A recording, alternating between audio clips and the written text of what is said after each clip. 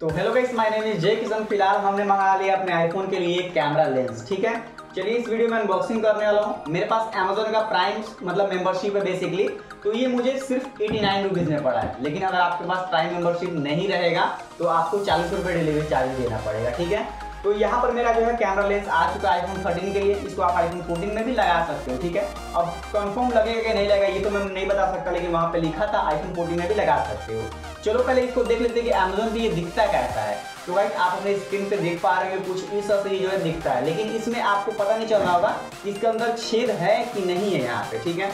लेकिन अब real life में देखते हैं कि किस तरह से छेद रहता है कि नहीं रहता है बेसिकली किस तरह का रहता है। आपको मैं पूरी तरीके से बताऊँगा और वीडियो अच्छा लगे तो लाइक ज़रूर से करना और इंस्टाग्राम पे फॉलो नहीं किया हो मस्ट फॉलो कर लो, ठीक है? और आईफोन का जो मतलब प्लेलिस्ट का लिंक है, उस वीडियो को डिस्क्रिप्शन में आपको देखने को मिल जाएगा। तो मेक श्योर आप जाकर प्लेलिस्ट ज़रूर देखना चलिए हम फटाफट से वीडियो को स्टार्ट करते हैं और देन आपको सारी चीज़ें एकदम डिटेल में बताऊँगा इसका। मतलब रिव्यू भी बताऊँगा बेसिकली कैसा ये है, इसका कैमरा क्वालिटी मतलब बेसिकली उस पर रहता है तो खराब तो नहीं होता है, सारी चीज़ें आपको एक्सप्लेन करूँगा। तो चलो फटाफट से वीडियो को स्टार्ट करते हैं। तो भाई, यहाँ पर ये रहा अपना पैकेजिंग जो कि काफ़ी मतलब हल्का है, काफ़ी एकदम मतलब बहुत ही वियर सा लग रहा है, लेकिन इसके अंदर हो गया ही क्या है मतलब बहुत ही छोटा प्रोडक्ट है। इसी की वजह से इस तरह से ये पैकेजिंग आया हुआ है, ठीक है?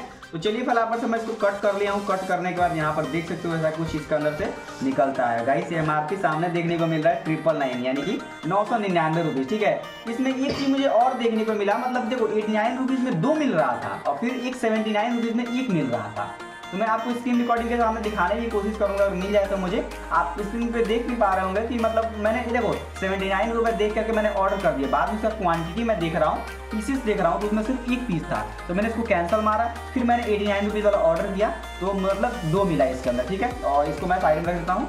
और गाइस अपना ये रहा लेंसेज जो कि यहाँ पर देख सकते हो, कुछ इस तरह से आपको देखने को मिलता है। चलिए इसको फटाफट से निकालते हैं और आपको दिखाता हूँ कि किस तरह से क्वालिटी रहता है। इसका पैकेजिंग वगैरह ठीक ठाक है मतलब सही है, ख़राब नहीं है, ठीक है? और इसको मैं निकालूँ। तो गाइस यहाँ पर देख सकते हो, ये निकल चुका है। इसके अंदर दो पीसेज है, ठीक है? तो आप इसको ज़रूर से मंगा सकते हो। इसका बाय लिंक मैं कोशिश करूँगा डिस्क्रिप्शन में डालने की। तो यहाँ पर देख सकते हो, इसको निकालो मैं जरा। तो यहाँ पर कुछ इस तरह से आपको ये देखने को मिलता है, ठीक है? ये चिपक गया इसके अंदर। तो गाइस यहाँ पर देख सकते हो कैमरा लेंस जो है कुछ इस तरह से देखने को मिलता है। और आपको पता नहीं चल रहा इसके ऊपर छेद है कि नहीं है, ठीक है? तो मैं कोशिश करूँगा आपको दिखाने की, पेन से, ठीक है? तो जाइस मतलब ये देखो, इसके ऊपर आप टच करोगे ना तो यहाँ पे छेद नहीं है ये। मतलब पूरा यहाँ पर लेंस है, ये पूरा का पूरा लेंस है, ठीक है? यहाँ पर भी लेंस है, यहाँ पर भी लेंस है।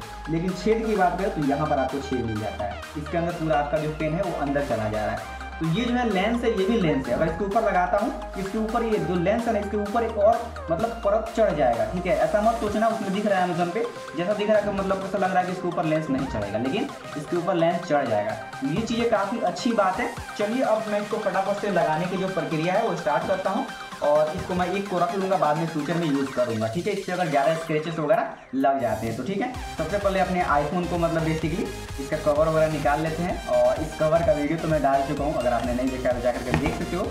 वीडियो के डिस्क्रिप्शन में आपको लिंक मिलेगा, ठीक है? तो इसको साफ़ सफ़ाई करते हैं और देन इसको हम लगाते हैं। तो गाइस फ़िलहाल अभी जो है मैं कैमरा लेंस यूज़ नहीं किया हूँ और यहाँ पर देख सकते हो जो क्वालिटी है, कुछ इस तरह से आ रहा है। यहाँ पर देख सकते हो ये रहा अपना लेंस और सेकंड वाला लेंस यानी कि दो दो लेंस मेरे पास पड़ा हुआ है। मैंने अभी लेंस नहीं लगाया, ठीक है?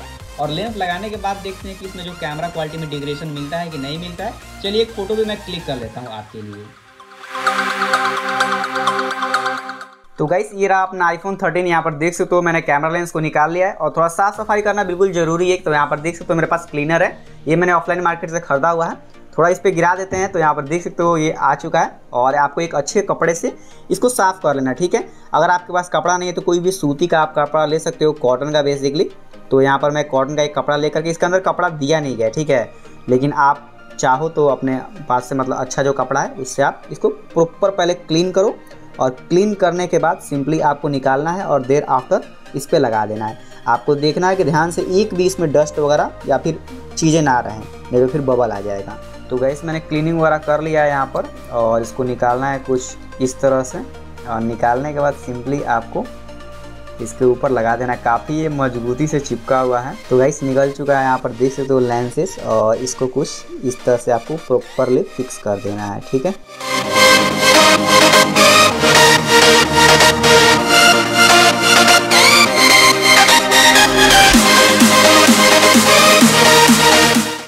गाइस, फ़िलहाल तो मैं इसका कैमरा लेंस को लगा चुका हूँ। काफ़ी अच्छे से मैंने लगाया है, एकदम प्रॉपर जैसा है, वैसा ही लगाया है।